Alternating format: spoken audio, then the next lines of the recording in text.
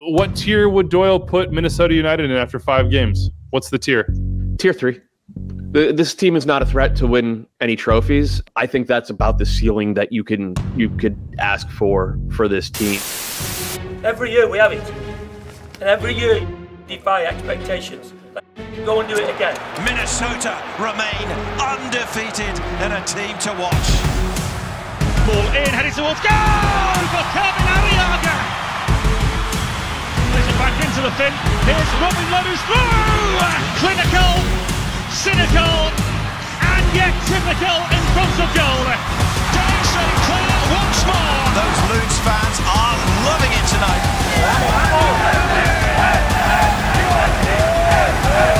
Come on. Every game's different on the road, but we know what the formula is.